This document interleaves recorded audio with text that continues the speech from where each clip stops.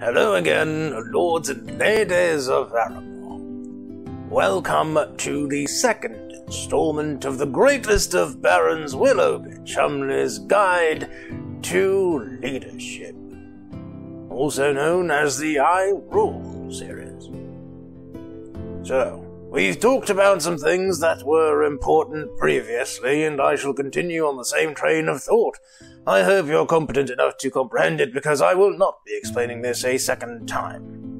If you wish to keep control of your peasantly subjects, you shall have to put in place certain laws.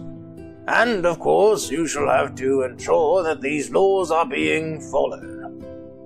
Now, in my barony, I have a relatively manageable portion of land, whereas you have a humongous void of what I would call good luck, where you're intended to rule and um, enforce your laws over what appears to be an unmanageable amount of land.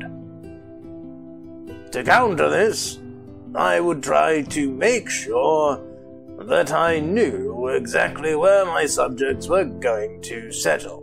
Which brings me to another point. Always make sure that you tell your subjects exactly where they are allowed to settle so that they cannot escape the grasp of your law people. Another grandiose tip and unmissable portion of your rulership is to put in place rules. Yes, I know I've said laws, but laws and rules are not the same. If you do not comprehend the difference, then we have a bigger problem altogether. Rules are meant to be followed not only by your subjects, but those in law positions and, um, well, yourselves, frankly.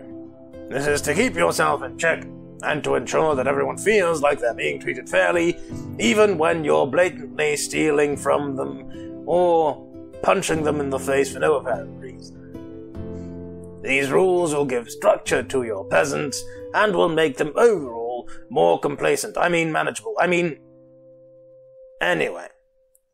Once you have put your laws and your rules in place, you must also ensure that there are some advantages. After all, blind obedience is a thing of the past, as unfortunately, the average peasant has developed somewhat of a conscience and a brain. I know, terribly frustrating. I would slap it out of him if I could, but unfortunately I found that even alcohol cannot counter this particular problem.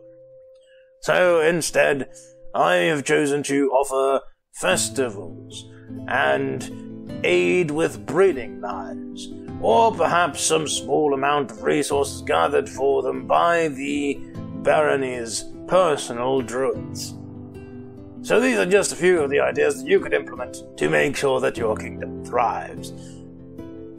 Obviously, a barony is still the superior rulership, but you wish for kingdoms and all, so um, that is entirely on yourself. All that is left for me to say now is, you're welcome. Good luck on your rulership.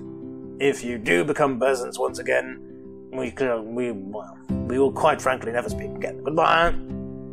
Get your copy of Baron Willoughby Chumley's Guide to Erebor Flora for Peasants right now. The Baron reserves all right to change his mind on anything.